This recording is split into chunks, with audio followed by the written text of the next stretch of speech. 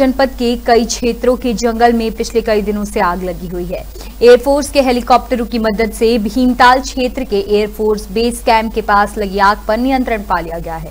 लेकिन अभी भी कई जगहों पर आग धधक रही है। वहीं पहाड़ों पर भी लगी आग को नियंत्रित करने के लिए राज्य सरकार ने एनडीआरएफ की मदद ली है।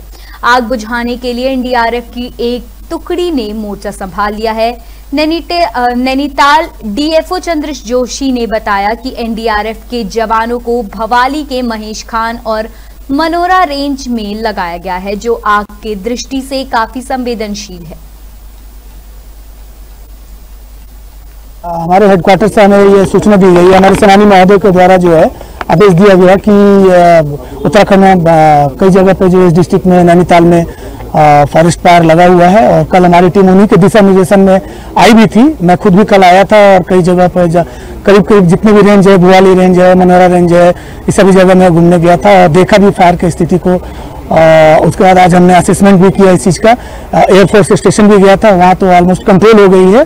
और तो अभी कुछ जगहों पर जो है भुवाली रेंज में जैसा कि आपके फॉरेस्ट डिपार्टमेंट के द्वारा बताया गया है कि अभी फायर है वहाँ पे तो हमारे सेनानी महोदय ने टीम को भेजा है और फॉरेस्ट डिपार्टमेंट के स्टाफ और इनके फॉरेस्ट गार्ड वगैरह के साथ मिल करके हमारी टीम जो है फॉरेस्ट फायर में सहभागिता करेगी।